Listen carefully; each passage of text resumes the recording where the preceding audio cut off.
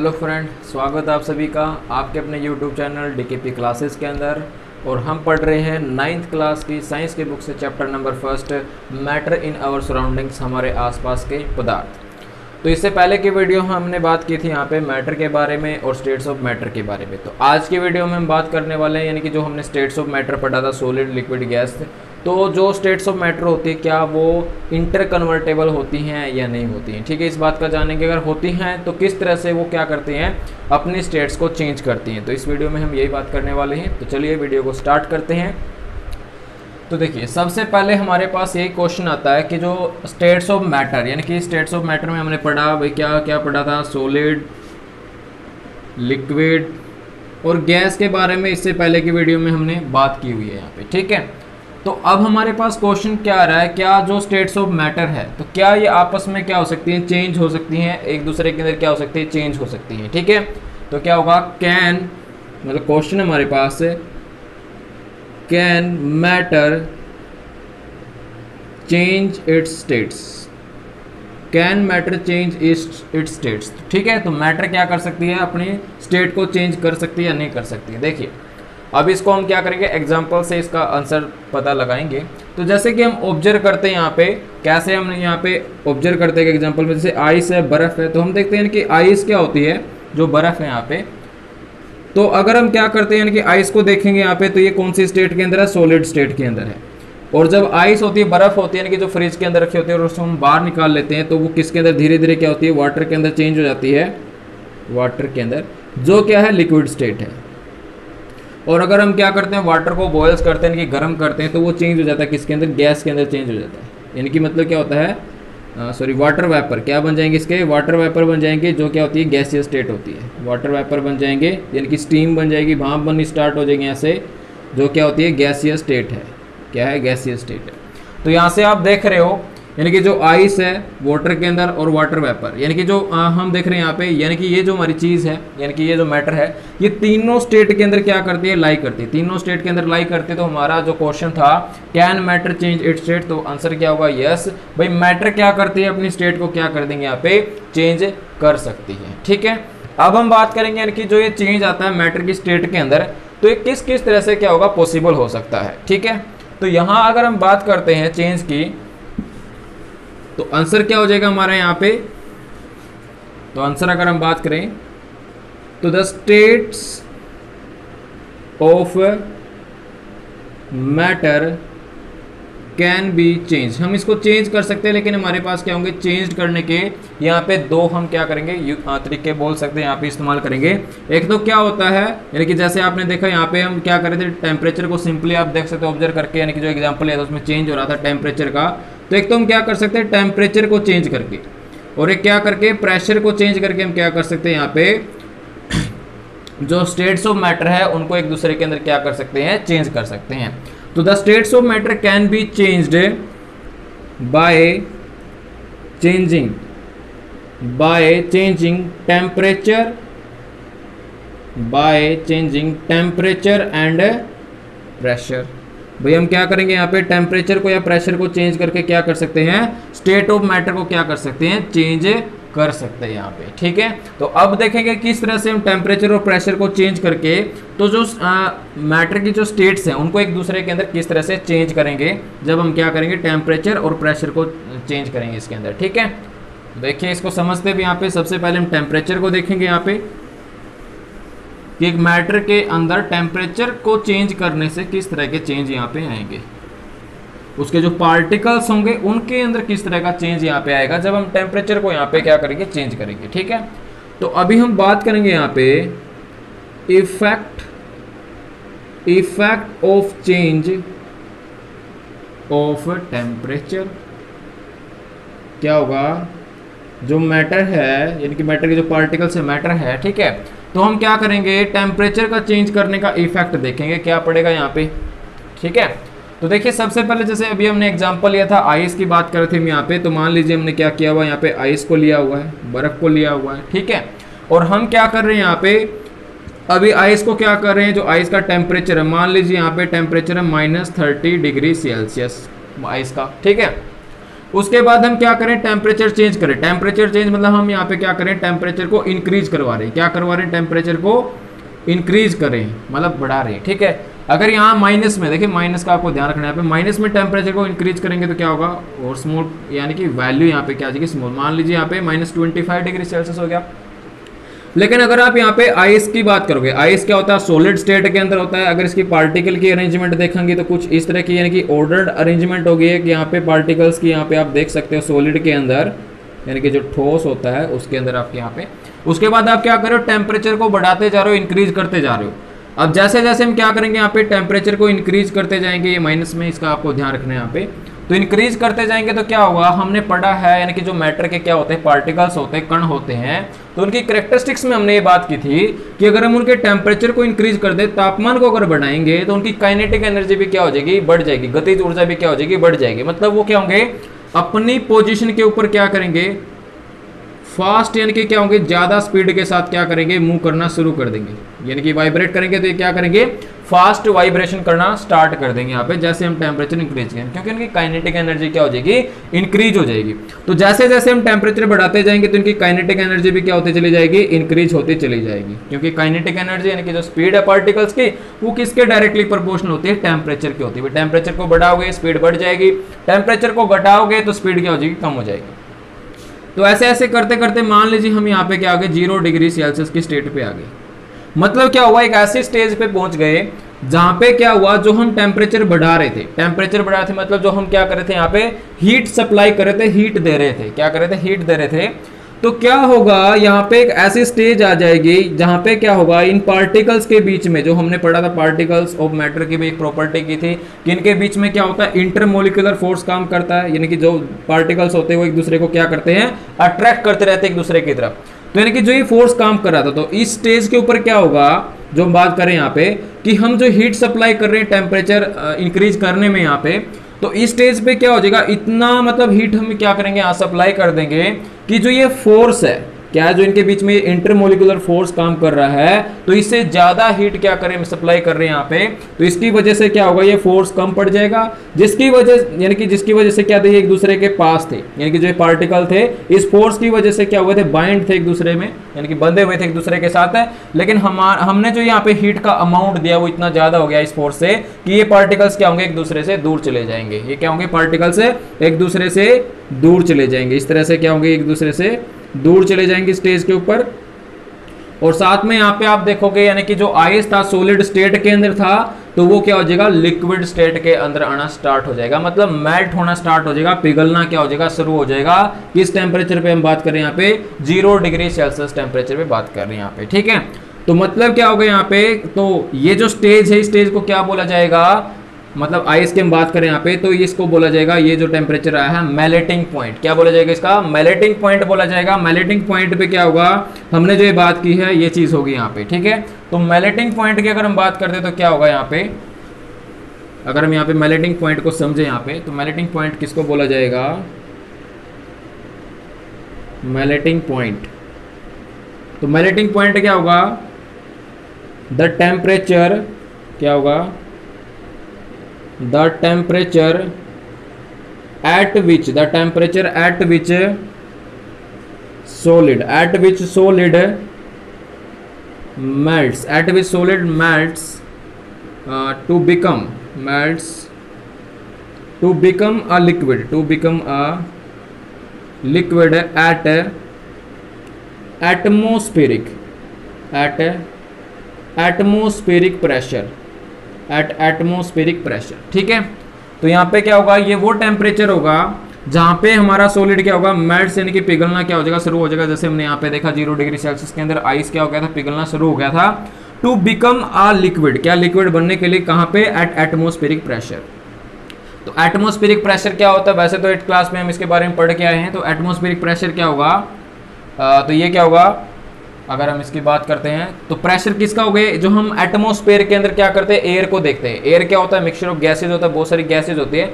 तो उन गैसेज के द्वारा या एयर के द्वारा जो प्रेशर लगाया जाता है, जो प्रेशर क्या किया जाता है? लगाया जाता है तो उसको हम क्या बोलते हैं? एटमोस्फेरिक प्रेशर बोलते हैं। क्या बोलते हैं? एटमोस्फेरिक प्रेशर बोलते हैं। और प्रेशर के बारे में हमने बात की, यानी कि प्रेशर को किसमें मापते हैं? पास्कल के अंदर मापते हैं। तो कंपेरिजन के लिए क्या होता है? जो वन एटमोस्फेरिक प्रेशर होगा तो वो किसके बराबर होता है? यहाँ पे पास्कल में 1.01 point zero one into ten raise to power five pascal ठीक है तो किसके बराबर होता है? इतने पास्कल के बराबर होता है यहाँ पे। तो हम बात करें यहाँ पे मेल्टिंग पॉइंट की तो ये क्या होगा? वेट टेम्परेचर होगा, जिसके ऊपर कोई भी सॉलिड क्या हो जाएगा? पिघलना शुरू कर देगा। यहाँ पे मेल्ट होना स्टार्ट हो जाएगा। किसमें कन्वर्ट होगा साथ में? लिक्विड में कन्वर्ट होना क्या हो जाएगा? स्टार्ट हो जाएगा एट एटमोस्फेरिक प्रेशर के ऊपर। तो इसको मेल्टिंग पॉइंट बोला जाएगा यहाँ पे। तो आइस का मेल्टिंग पॉइंट क्या हुआ यहाँ पे? ज़ीरो डिग्री सेल्सियस क्या होगा? ज़ीरो डिग्री सेल्सियस ठीक है? तो मेल्टिंग पॉइंट के साथ साथ हम यहाँ पे एक चीज़ की और बात करेंगे यहाँ पे। वो भी बहुत इंपॉर्टेंट है यहाँ।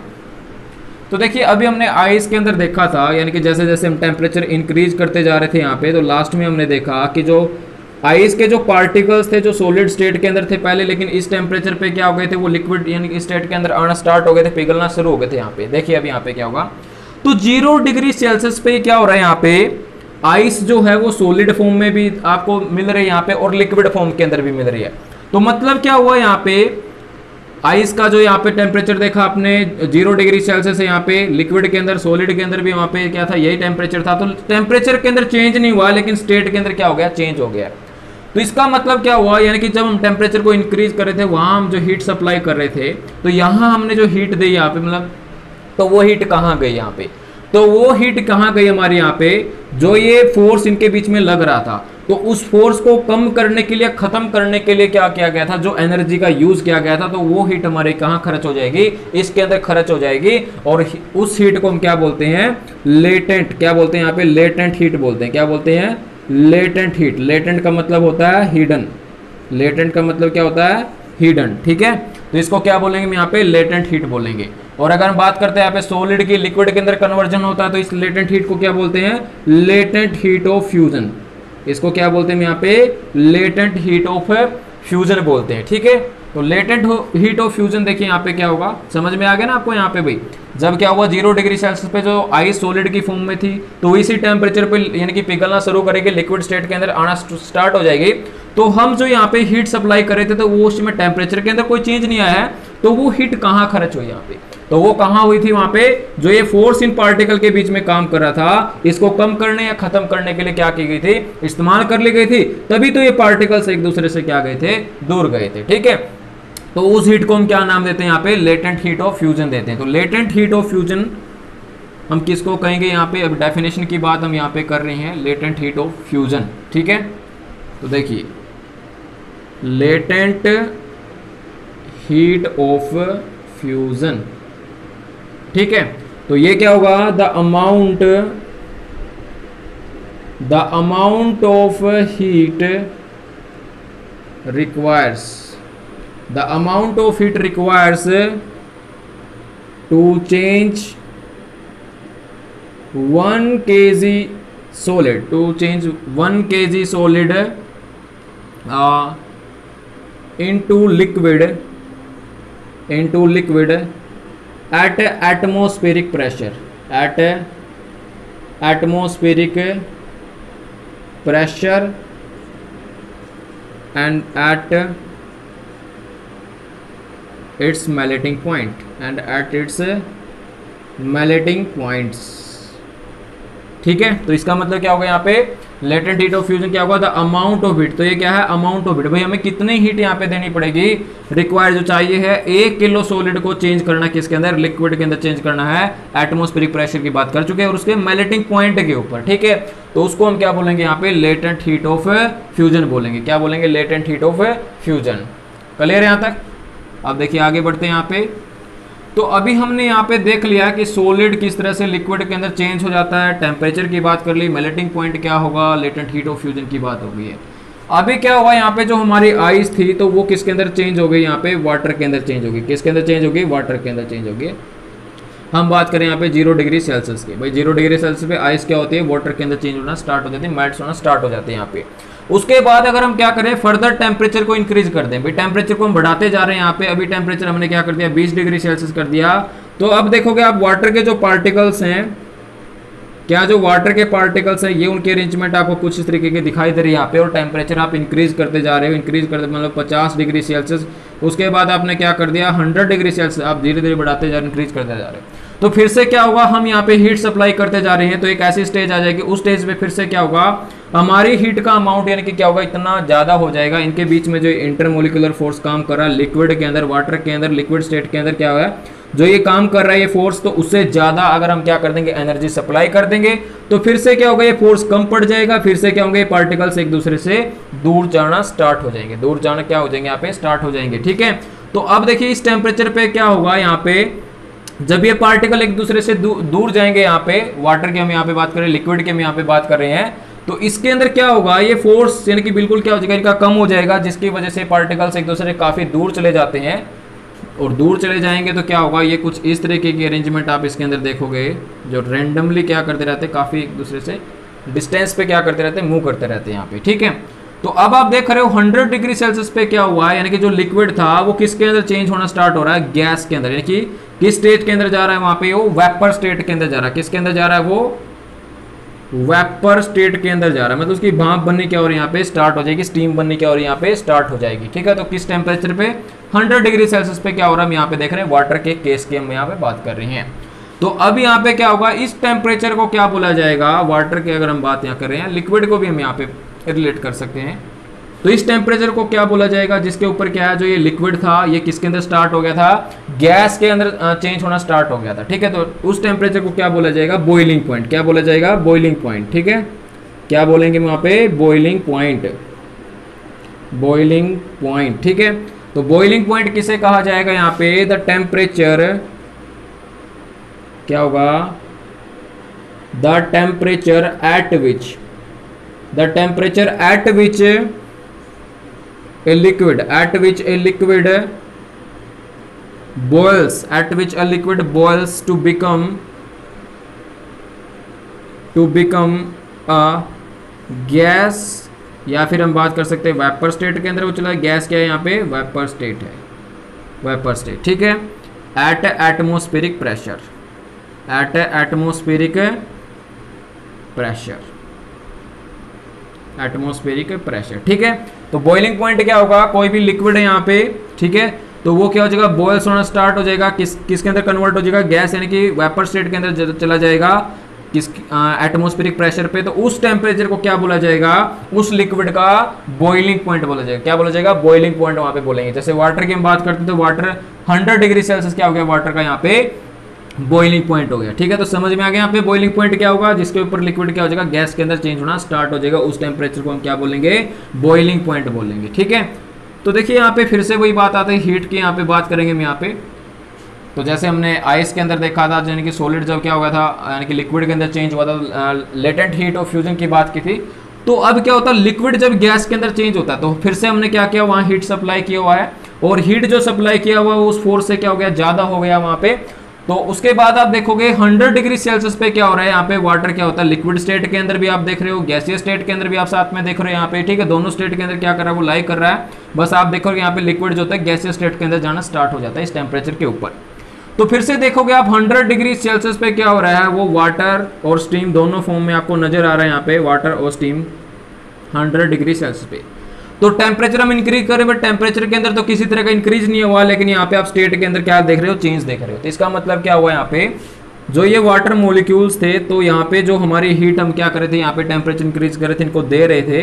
तो वो हीट कहाँ खर्च हो गई? उस फोर्स को ओवरकम करने के लिए हो गई, जिसकी वजह से क्या हुआ? यहाँ पे जो वाटर था, वो किसके अंदर चेंज हो गया था? स्टीम के अंदर चेंज हो गया था। तो यहाँ क्या हुआ था? यहाँ हमारी जो हीट है, वो खर्च हो गई यहाँ पे। तो इस हीट को क्या बोला जाएगा यहाँ पे? इस केस के अंदर जब लिक्विड से वेपर स्टेट के अंदर जाएँगे तो वहाँ बोलेंगे लेटेंट हीट ऑफ़ क्या बोलेंगे? Latent heat of vaporisation vaporisation ठीक है तो लेटेंट हीट ऑफ़ वेपराइजेशन इसमें बोलेंगे हम यहाँ पे, जब क्या होगा लिक्विड जो होता है वो वेपर स्टेट के अंदर जाएगा।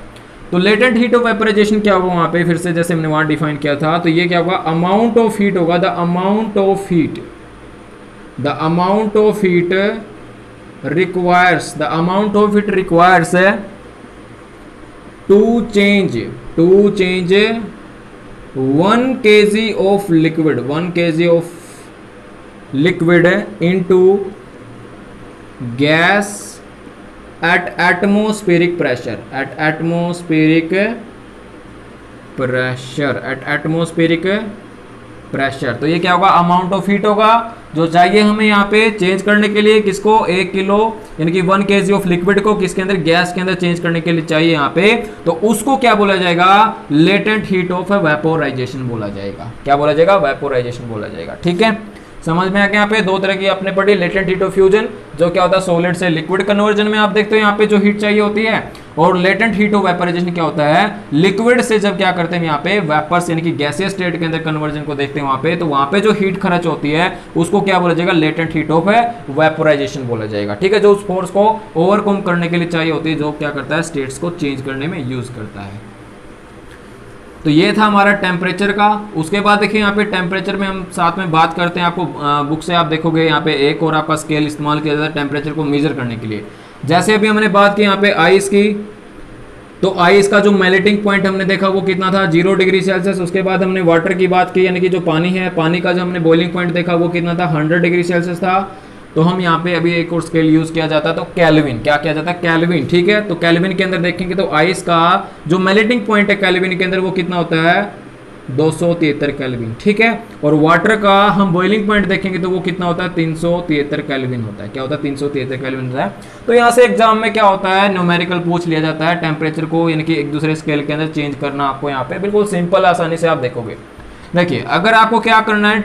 सेल्सियस को कैलविन के अंदर चेंज करना पड़ता है तो आप सिंपली क्या करोगे उसके अंदर? दो सौ तिहत्तर को क्या कर दोगे? ऐड कर दोगे। फॉर एग्ज़ाम्पल मान लिया आपके पास है thirty degree Celsius. 30 degree Celsius temperature को आपको कैलविन के अंदर लिखना है, कैलविन के अंदर चेंज करना तो सिंपली क्या करोगे इसके अंदर आप? दो सौ कैलविन को यहाँ पे क्या करोगे? ऐड कर दोगे। ऐड कर दोगे तो क्या आ जाएगा? आपका टोटल कितना आ गया यहाँ पे? 303 कैलविन यहाँ पे क्या आ गया? टेम्परेचर आ गया। तो इसका मतलब क्या हुआ? जो 30 डिग्री सेल्सियस है, वो कितने के बराबर हो गया? आपका 303 कैलविन के बराबर हो गया। तो 30 डिग्री सेल्सियस जो टेम्परेचर है, वो कैलविन में किसके बराबर हो गया? 303 कैलविन के बराबर हो गया यहाँ पे, ठीक है? उसके बाद अगर आपको क्या करना हो कैलविन से सेल्सियस के अंदर चेंज करना हो तो क्या करोगे? वहाँ पे दो को माइनस कर दोगे। अब मान लीजिए हम यहाँ पे तीन कैलविन है और इसको हम क्या करेंगे यहाँ पे? सेल्सियस के अंदर चेंज करेंगे। तो क्या करेंगे यहाँ पे? दो सौ तिहत्तर कैलविन इसमें से माइनस कर देंगे तो क्या बचेगा? तो सेल्सियस के अंदर चेंज करोगे तो 100 डिग्री से तो आप देख रहे हैं यहाँ पे 100 डिग्री सेल्सियस किसके बराबर होता है? तीन सौ तिहत्तर कैलविन के बराबर होता है। ठीक है? तो यहाँ पे आपका ये जो स्केल है, इसमें आपको कन्फ्यूज़न नहीं है। उसके बाद देखिए हम एक और स्केल यहाँ पे यूज़ करते हैं। मैं आपको यहाँ फॉर्मूला बताऊँगा। उसकी हेल्प से आप इन तीनों स्केल को आपस में कन्वर्ट करने की अगर आपका कोई क्वेश्चन आता है ज़रूरत पड़ती है तो आप उसका यूज़ करके क्या कर सकते हो? आसानी से कर सकते हो। ठीक है? तो देखिए, अगर हम बात करते हैं फॉरन हाइट की तो फॉरन हाइट स्केल पे क्या किया जाता है? टेम्परेचर की मेज़रमेंट में यूज़ किया जाता है। तो क्या होगा? हम बात करेंगे nine by five C plus thirty two तो ये आपका एक फॉर्मूला है जहाँ से आप क्या कर सकते हो? फॉरन हाइट और सेल्सियस को क्या कर सकते हो? आपस में चेंज कर सकते हो, ठीक है? इसको हम क्या कर सकते हैं? अगर हम लिखना चाहें तो यहाँ पे, जो नाइन है नाइन को इस साइड ले आइए तो क्या हो जाएगा? एफ़ बाय सॉरी पहले आप थर्टी टू को लेके आइए तो माइनस का थर्टी टू उसके बाद क्या होगा, आप यहाँ पे नाइन को नीचे लेके आइए नाइन इक्वल टू किसके बराबर हो जाएगा यहाँ से? सी बाई फाइव ठीक है? तो इसको इस तरह से भी लिखा जाएगा। देखिए, ये जो फॉर्मूला है, ये आपका अगर आप क्या करते हो कैलविन को भी यहाँ पे देखना चाहते हो साथ में ही तो कैलविन का हमारा कन्वर्जन रहेगा यहाँ पे, जो टेम्परेचर दे रखा है, उसमें से क्या करना है? दो सौ तिहत्तर माइनस करना है, और यहाँ पे ये तो इक्वल रहेंगे तो फाइव से क्या करना है? डिवाइड कर देना है। तो यहाँ से आप क्या कर सकते हो, इसका यूज़ करके आप क्या कर सकते हो, तीनों स्केल्स में किसी भी टेम्परेचर को किसी भी स्केल में चेंज करने की ज़रूरत पड़ती है तो आप इसका यूज़ करके क्या कर सकते हो, आसानी से जो भी आपका क्वेश्चन न्यूमेरिकल है, उसको सोल्व कर सकते हो, ठीक है? तो ये तो हमारे स्केल है टेम्परेचर को मेजर करने के लिए। तो ये था आपका effect of change of temperature देखिए यहाँ पे अभी इसको एक डायग्राम से समझ लेते हैं। तो जब भी आपके पास कोई सॉलिड गिवन है और आपको लिक्विड के अंदर क्या करना उसको कन्वर्ट करना हो और उसको फर्दर गैस के अंदर। तो कैसे किया जाएगा यहाँ से? अगर हम सॉलिड को क्या कर देंगे? हीट करेंगे तो वो लिक्विड के अंदर चेंज हो जाता है। लिक्विड को फर्दर अगर हम क्या करें? हीट करें तो वो किसके अंदर चेंज हो जाएगा? गैस के अंदर चेंज हो जाएगा, ठीक है? और अगर हमारे पास गैस है और उसको लिक्विड में चेंज करना तो क्या कर देंगे? टेम्परेचर कम कर देंगे कूल कर देंगे वहाँ पे तो क्या हो जाएगा? वो लिक्विड के अंदर चेंज हो जाएगा, ठीक है? और लिक्विड मीन्स पानी है, जैसे आप उसको फ्रिज में रखते हो तो टेम्परेचर कम हो जाता है, उसको ठंडा कर देते हो कूल कर देते हो तो उसकी बर्फ़ बन जाती है, वो क्या होती है? सॉलिड होती है। ठीक है तो सॉलिड को लिक्विड में हीट कीजिए लिक्विड के अंदर आ जाएगा, फिर हीट कीजिए गैस के अंदर आ जाएगा, और गैस को आप ठंडा करोगे तो लिक्विड के अंदर लिक्विड को ठंडा करोगे तो वो किसके अंदर चला जाएगा? सॉलिड के अंदर चला जाएगा। तो इस तरह से टेम्परेचर का चेंज करके आप सिंपली समझ सकते हो इन तीनों स्टेट के अंदर किस किस तरह से क्या होगा चेंज होगा। ओके उसके बाद हम नेक्स्ट आगे बात करते हैं यहाँ पे effect of change of pressure को समझेंगे यहाँ पे। तो देखिए प्रेशर को चेंज करके भी हम क्या कर सकते हैं यहाँ पे? जो स्टेट्स ऑफ़ मैटर है, उसको चेंज कर सकते हैं। तो effect of change of pressure ठीक है? तो देखिए यहाँ पे प्रेशर को कैसे हम यहाँ पे चेंज करके स्टेट्स ऑफ़ मैटर को चेंज करेंगे। तो हमारे जो पार्टिकल्स है मीन्स गैसियस पार्टिकल की हम यहाँ पे कंडीशन लेते हैं। जैसे मान लीजिए आपके पास एक सिलेंडर है, और उसमें यहाँ पे गैस के कुछ पार्टिकल्स हैं इस तरीके से। क्या है? गैस के कुछ पार्टिकल्स हैं इस तरीके से। उसके बाद आप क्या करोगे, यहाँ पे प्रेशर अप्लाई कर दीजिए। मतलब प्रेशर इंक्रीज कर दीजिए प्रेशर बढ़ा दीजिए। तो नेक्स्ट स्टेज में आप देखोगे, यहाँ पे क्या हो जाएगा? तो जैसे आप प्रेशर इंक्रीज करोगे तो यहाँ पे क्या हो जाएगा? ये कुछ इस तरीके की अरेंजमेंट आप यहाँ पे देखोगे। आपको दिखाई देगी अरेंजमेंट और फिर से क्या कर रहे हो आप? प्रेशर को इंक्रीज करते जा रहे हो तो धीरे धीरे आप देखोगे यहाँ पे तो चेंज होने के बाद ये क्या हो जाएगा? यानी कि लिक्विड स्टेट के अंदर आ जाएगा। किसके अंदर आ जाएगा ये? लिक्विड स्टेट के अंदर आ जाएगा। ठीक है? तो इसके अंदर क्या होता है? इनके अगर आप क्या करते हो? प्रेशर को इंक्रीज करते हो। प्रेशर को क्या करते हो? इंक्रीज करते हो। यानी कि जो पार्टिकल्स इनके ऊपर आप प्रेशर लगा रहे हो, क्या करें दबाव लगा रहे हो, जो ये क्या करेंगे? एक दूसरे के नज़दीक चले जाएँगे। ठीक है? अगर आप प्रेशर इंक्रीज कर रहे हो टेम्परेचर को डिक्रीज कर रहे हो तो क्या होगा? हम किसी भी जो हमारी गैस है, उसको क्या कर देंगे? लिक्विड के अंदर चेंज कर देंगे। मीन्स क्या कर देंगे? गैस को लिक्विफाइड कर देंगे यहाँ पे। कैसे करेंगे? प्रेशर को इंक्रीज करके और टेम्परेचर को यहाँ पे हम डिक्रीज कर देंगे यहाँ पे। ठीक है तो इस तरह से क्या होगा? प्रेशर को चेंज करके भी हम क्या कर देंगे यहाँ पे? स्टेट्स ऑफ़ मैटर को क्या कर सकते हैं? चेंज कर सकते हैं। ठीक है? तो ये था हमारा यहाँ पे effect of change of pressure उसके बाद देखिए एक डायग्राम से हम इसको समझते हैं। यहाँ पे एक डायग्राम आपको यहाँ पे करना है। तीनों स्टेट्स के अंदर जो यानी कि चेंज होते हैं तो वो जो कौन कौन सी प्रोसेस है वहाँ पे क्या होती है यूज़ होती है, ठीक है? तो यहाँ पे हम बात करें सॉलिड की। उसके बाद लिक्विड है। उसके बाद हम बात करें यहाँ पे गैस तो देखिए, जब सॉलिड को लिक्विड के अंदर कन्वर्ट किया जाता है तो उस प्रोसेस को हम क्या बोलते हैं? फ्यूजन बोलते हैं। क्या बोलते हैं? फ्यूजन बोलते हैं। लिक्विड को जब गैस के अंदर चेंज किया जाता है गैस के अंदर चेंज होगा तो उसको क्या बोलते हैं यहाँ पे? वेपोराइजेशन बोलते हैं। पढ़ा हमने यहाँ पे वेपोराइजेशन और गैस को जब सॉलिड के अंदर चेंज करते तो उसको क्या बोलते हैं यहाँ पे? सब्लिमेशन देखिए यहाँ पे लिक्विड नहीं है बीच में सीधा हम गैस से क्या करें? डायरेक्टली सॉलिड के अंदर क्या करें? चेंज करेंगे तो उस प्र, उस प्रोसेस को हम क्या बोलेंगे यहाँ पे? सब्लिमेशन बोलेंगे। ठीक है? उसके बाद हम इसका रिवर्स देखते हैं। जब लिक्विड को क्या किया जाएगा? सोलिड के अंदर चेंज किया जाएगा तो उसको क्या बोला जाएगा यहाँ पे? सोलिडिफिकेशन बोला जाएगा। क्या बोला जाएगा? सोलिडिफिकेशन ठीक है सोलिडिफिकेशन बोलेंगे और जब क्या होगा? गैस को हम लिक्विड के अंदर चेंज करेंगे। गैस को क्या करेंगे? लिक्विड के अंदर चेंज करें तो उसको कैसे करेंगे? आपको पता है कंडेंशिएशन बोलेंगे। क्या बोलेंगे? कंडेंशिएशन ठीक है? और सोलिड को अगर हम क्या कर दें? डायरेक्ट गैस के अंदर चेंज करेंगे तो उस प्रोसेस को भी क्या बोला जाएगा? सब्लिमेशन बोला जाएगा। क्या बोला जाएगा? सब्लिमेशन बोला जाएगा। ठीक है तो सब्लिमेशन क्या होता है? Sublimation is a process in which a solid change directly into gaseous state is called a sublimation process sublimation क्या होगा? वो प्रोसेस होगी जिसके अंदर क्या होगा? कोई भी सोलिड हमारा डायरेक्ट गैस के अंदर क्या हो जाएगा? चेंज हो जाएगा। गैस के अंदर चेंज हो जाएगा। ये गैस में कोई भी हमारा यहाँ पे मैटर है। वो क्या हो जाएगा? डायरेक्ट सोलिड के अंदर आ जाएगा तो उसको भी हम क्या बोलेंगे? यहाँ पे सब्लिमेशन बोलेंगे, ठीक है? तो इस डायग्राम से आप पूरा कन्वर्जन को क्या करते हो? समझते हो यहाँ पे। याद रह जाएगी आपको बातें? ओके तो यहाँ पे देखिए, अभी हम बात करते हैं सब्लिमेशन का एग्ज़ाम्पल की। भाई सब्लिमेशन का एग्ज़ाम्पल क्या है? सोलिड से डायरेक्ट गैस के अंदर। ओके तो आपने देखिए यहाँ पे CO2 जो है कार्बन डाइऑक्साइड जो है। सोलिड अगर हम CO2 की बात करते हैं यहाँ पे, क्या करते हैं? सोलिड अगर हम CO2 की बात यहाँ पे करते हैं तो ये जो गैस होती है, जब इसको हम क्या करते हैं? हाई प्रेशर के ऊपर रखते हैं। क्या करते हैं? हाई प्रेशर के ऊपर रखते हैं। और यहाँ पे जो प्रेशर रहेगा हमारा, जैसे एटमोस्फेरिक की बात की वन एटमोस्फेरिक प्रेशर की हम यहाँ बात कर तो ये क्या होगा? सॉलिड फॉर्म के अंदर ठीक है, और जैसे हम क्या करेंगे? प्रेशर रिलीज़ करेंगे तो डायरेक्ट क्या होता है? जो CO2 वो किसके अंदर चेंज हो जाता है? आपका गैसियस स्टेट के अंदर चेंज होता है। क्या होता है? गैसियस स्टेट के अंदर चेंज आ जाता है। तो ये क्या होगा? सब्लिमेशन का एग्जांपल है, CO2 ठीक है, जो सॉलिड फॉर्म के अंदर, जिसको हम क्या बोलते हैं? यहाँ पे ड्राई आइस भी बोलते हैं। क्या बोलते हैं? ड्राई आइस क्या बोलते हैं? ड्राई आइस ठीक है? तो ये किसका एग्ज़ाम्पल है यहाँ पे?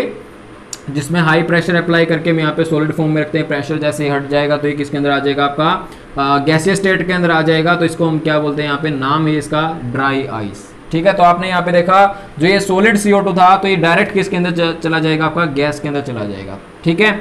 उसके बाद आपका जैसे कपूर होता है, कपूर की गोलियाँ आपने देखोगे जो नैथलिन बोस होती है कैंफर जो हम बोलते हैं। तो वो भी क्या होता है, आप देखते हो, यानी कि कपड़ों के अंदर जब उनको रखते हैं, उसके बाद जैसे हम क्या करते हैं कुछ टाइम बाद यानी कि उन कपड़ों को देखते हैं तो वहाँ पे आप देखोगे जो बोल्स आपने वहाँ पे कपूर की रखी थी, गोलियाँ रखी थी तो वो क्या हो जाती है, वहाँ से गायब हो जाती है डिसअपियर हो जाती है, ठीक है? तो वहाँ पे भी क्या हुआ, वहाँ पे भी क्या हुआ सब्लिमेशन प्रोसेस हुआ, ठीक है? क्योंकि उसके जो यानी कि पार्टिकल्स थे, वो क्या थे वोलेटाइल नेचर के पार्टिकल्स थे, ठीक है? तो वोलेटाइल के जो आपका मटेरियल होगा या कोई भी सब्सटेंस या मैटर होगी तो वो क्या होगी? डायरेक्ट सोलिड से किसके अंदर चेंज होगी गैस के अंदर चली जाएगी। तो उस प्रोसेस को हम क्या बोलेंगे? सबलिमेशन प्रोसेस बोलेंगे। ठीक है? तो यहाँ पे हमने आज पढ़ा है कि किस तरह से स्टेट ऑफ़ मैटर के अंदर चेंज आता है। ठीक है? क्या क्या वो मेथड होंगे यहाँ पे? क्या क्या वो प्रोसेस होंगे यहाँ पे? टेम्परेचर का कंसेप्ट हमने यहाँ पे देख लिया है। तो आज की वीडियो में हम क्या करेंगे, इतनी ही बात करेंगे। नेक्स्ट वीडियो में हम बात करेंगे ई वेपरेशन का, हमारा एक टॉपिक बचता है चैप्टर से, और कुछ इंपॉर्टेंट टर्म्स यहाँ पे रह जाती हैं, ठीक है? एक्सरसाइज के कुछ क्वेश्चन होंगे इंपॉर्टेंट है, जो उनको भी साथ में डिस्कस करेंगे। तो आज के वीडियो के लिए हम इतना ही पढ़ेंगे, ठीक है? तो मिलेंगे नेक्स्ट वीडियो में, तब तक के लिए आपको धन्यवाद।